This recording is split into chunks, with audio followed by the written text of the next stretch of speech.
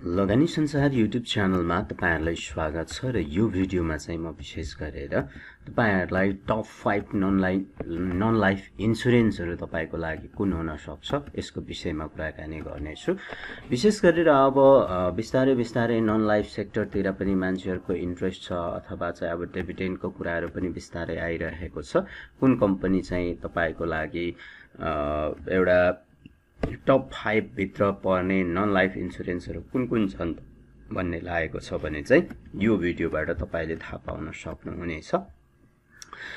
अब यसमा तपाईँले कुरा गर्ने हो भने हिमालयन एभरेस्ट इन्सुरेन्सलाई तपाईँले हेर्न सक्नुहुन्छ। यसको मार्केट प्राइस भनेको अहिले पाँच सय त्रिसठी रुपियाँ तपाईँले देख्न सक्नुहुन्छ।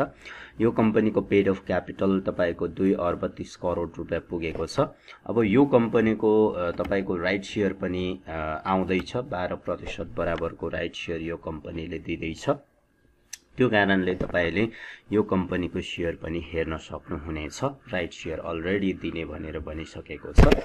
बाहन्न हप्ताको हाइएस्ट प्राइस छ सय अडचालिस र लोएस्ट प्राइस तिन सय सडचालिस रुपियाँ तपाईँले देख्न सक्नुहुन्छ। यो कम्पनीको इपिएस सत्र रहेको छ पी रेसियो बत्तिस रहेको छ। यसको रिटर्न अन इक्विटी दस प्रतिशत छ बुक भ्यालु एक सय अठासी रुपियाँ रहेको तपाईँले पाउनुहुन्छ। र यो कम्पनीको पब्लिकमा सेयर भनेको उनापचास प्रतिशत छ प्रमोटरमा एकाउन्न प्रतिशत रहेको तपाईँले देख्न सक्नुहुन्छ। र यसको बाहन्न फाइनेन्सियल इन्डिकेटरहरू तपाईँले हेर्नुहुन्छ भने नाइन्टी सिक्स पर्सेन्टले पेड अफ क्यापिटल बढेको छ यसले मर्जर गरिसकेको छ। र रिजर्भ एन्ड सरप्लसमा एक सय चौरासी प्रतिशतले बढेको छ। इन्सुरेन्स फन्ड पनि सतासी पर्सेन्टले यो कम्पनीले बढाएको छ। अब टोटल रेभिन्यूहरू हेर्नुहुन्छ भने पनि राम्रै बढेको देख्न सक्नुहुन्छ। नेट प्रफिटमा एक सय सत्तरी पर्सेन्टको वृद्धि नेट प्रिमियममा एक सय बयासी प्रतिशतको वृद्धि नेट क्लाइम पेमेन्टमा दुई सय उन्तिस प्रतिशतको वृद्धि इपिएसमा अडतिस प्रतिशत बुक भ्यालु त्यो रिटर्न अन इक्विटी सबै कुरा नै हिमालयन एभरेस्ट इन्सुरेन्सको पनि तपाईँको राम्रो रिपोर्ट आएको देख्न सक्नुहुन्छ।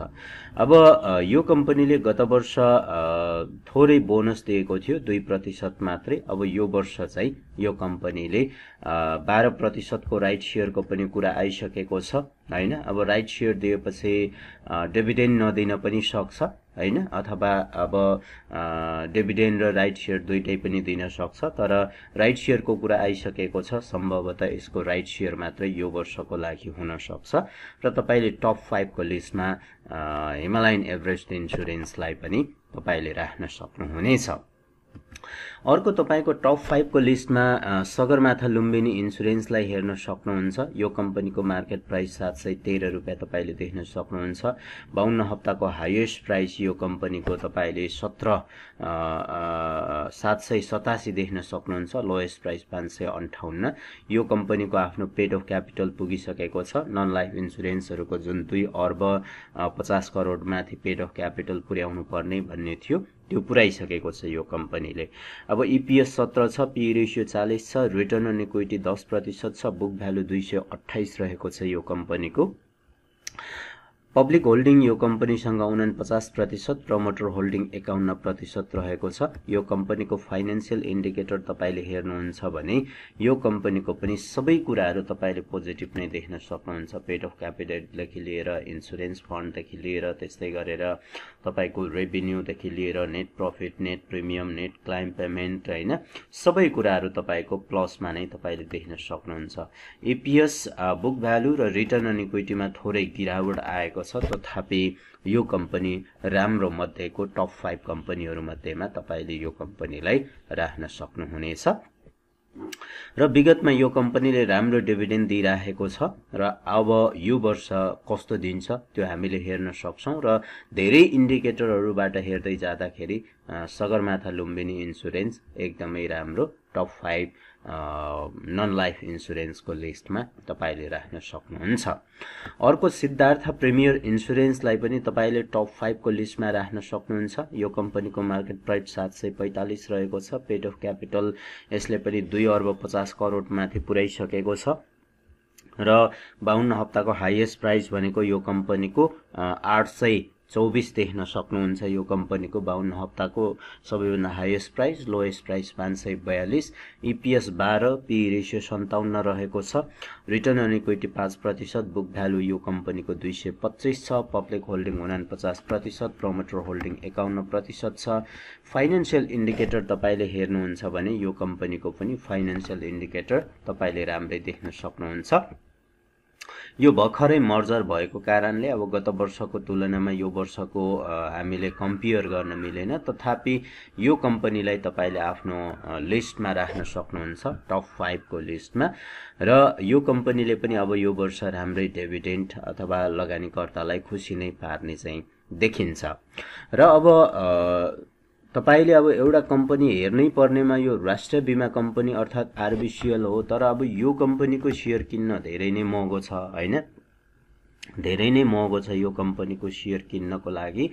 तथापि अब यो कम्पनीको सेयर हामीले किनिराखियो भने आगामी दिनहरूमा हामीलाई राम्रै फाइदा हुन्छ भन्ने मलाई चाहिँ लाग्छ होइन?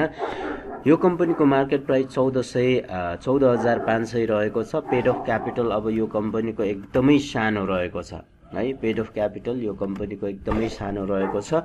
जसको कारणले अब यो कम्पनीले जुन बिमा संस्थाको होइन?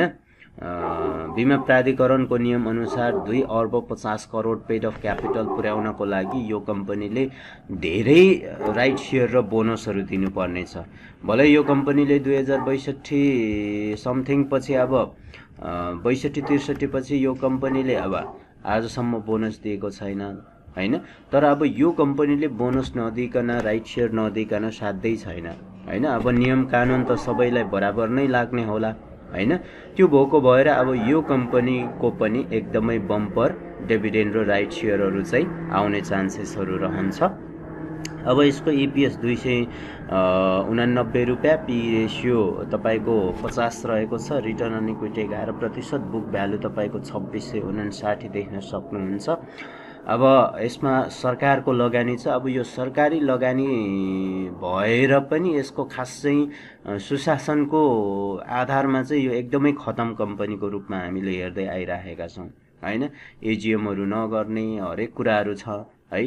तर अब यसले आगामी दिनमा गर्नुपर्ने देखिन्छ होइन? जुन राष्ट्रिय बिमा संस्थानको कुराअनुसार अब यो कम्पनीलाई चाहिँ छुट हो भने त अब त्यो फरक कुरा हो तर अब छुट नहुनुपर्ने होइन? सबैलाई बराबर नै हो कानुन त। अब यसमा पब्लिक होल्डिङ जम्मा बाह्र प्रतिशत छ प्रमोटर होल्डिङ सतासी प्रतिशत देख्न सक्नुहुन्छ। फाइनेन्सियल इन्डिकेटरको आधारमा त अब यो कम्पनीको विषयमा हामीले खासै भनिराख्न जरुरी पर्दैन होइन? त्यो कारणले उत्कृष्ट कम्पनी होइन? एकदमै उत्कृष्ट कम्पनीमा यो कम्पनी पनि पर्छ तर सुशासनको आधारमा चाहिँ यो कम्पनी सबैभन्दा खतममा पनि पर्छ। होइन? तथापि अब अलिकति भए पनि यो कम्पनीको सेयर किन्न सकियो भने आगामी दिनमा राइट सेयर बोनसहरू चाहिँ योबाट राम्रो पाउन सकिन्छ भन्ने मलाई लाग्छ। अब अर्को भनेको तपाईँको टप फाइभमा यो नेको इन्सुरेन्स छ। आठ सय बैसठी छ मार्केट प्राइस। यो कम्पनीको पनि तपाईँको के छ भन्दाखेरि दुई अर्ब पचास करोड यसले पनि आफ्नो पेड अफ क्यापिटल पुर्याउनु पर्ने छ। यसको जम्मा दुई अर्ब बाह्र करोड मात्रै छ। भनिसकेपछि अब यो कम्पनीले त बयालिस प्रतिशत बराबरको राइट सेयर यो कम्पनीले चाहिँ अब दिने भनेर कुरा आइसकेको छ। त्यसैले तपाईँले यो कम्पनीको राइट सेयर चाहिँ मजाले खान सक्नुहुन्छ र यसको राइट सेयर एकदमै स्ट्रङ राइट सेयर आउँदैछ। इपिएस यसको सत्ताइस छ पी रेसियो एकतिस छ रिटर्न अन इक्विटी चौध प्रतिशत बुक भ्यालु दुई सय दस छ पब्लिक होल्डिङ यसको चालिस प्रतिशत प्रमोटर होल्डिङ साठी प्रतिशत छ। फाइनेन्सियल इन्डिकेटर यो कम्पनीको उत्कृष्ट देख्न सक्नुहुन्छ तपाईँले होइन? सबै कुराहरू एकदमै राम्रो रहेको तपाईँले पाउनुहुन्छ। डेभिडेन्डको हिसाबमा पनि तपाईँले नेको इन्सुरेन्सलाई एकदमै राम्रो मान्न सक्नुहुन्छ। यो कम्पनीले हरेक हरेक वर्ष उत्कृष्ट डिभिडेन्ड चाहिँ दिँदै आइराखेको तपाईँले देख्न सक्नुहुन्छ। है अब तपाईँको राइट सेयर यो कम्पनीको एकदमै बम्पर छ। विशेष हिमालयन एभरेज इन्सुरेन्सको बाह्र प्रतिशत त्यस्तै गरेर नेको इन्सुरेन्सको चाहिँ बयालिस प्रतिशतको कुरा आइसकेको छ। त्यो कारणले गर्दाखेरि अब तपाईँको यसले राइट सेयर पनि बम्पर दिँदैछ। राइट सेयर खानको लागि पनि तपाईँले यी कम्पनीहरूलाई हेर्न सक्नुहुनेछ। अब टप फाइभको लिस्टमा रहेका कम्पनीहरू चाहिँ यिनीहरू नै हो। अब एक नम्बरमा भन्नुपर्दाखेरि अब सुशासनमा कमजोर छ तर स्ट्रङली हेर्दाखेरि आरबिसिएल एउटा एक नम्बरमा। सेकेन्डमा तपाईँले निकोलाई राख्न सक्नुहुन्छ। थर्डमा तपाईँले सिद्धार्थ लाई पनि राख्न सक्नुहुन्छ अथवा तपाईँले यो सगरमाथालाई पनि राख्न सक्नुहुन्छ। त्यसपछि तपाईँले हिमालयन एभरेस्ट अथवा सिद्धार्थ सलिकोलाई तपाईँले राख्न सक्नुहुनेछ। बाँकी तपाईँहरूको चोइसको कुरा।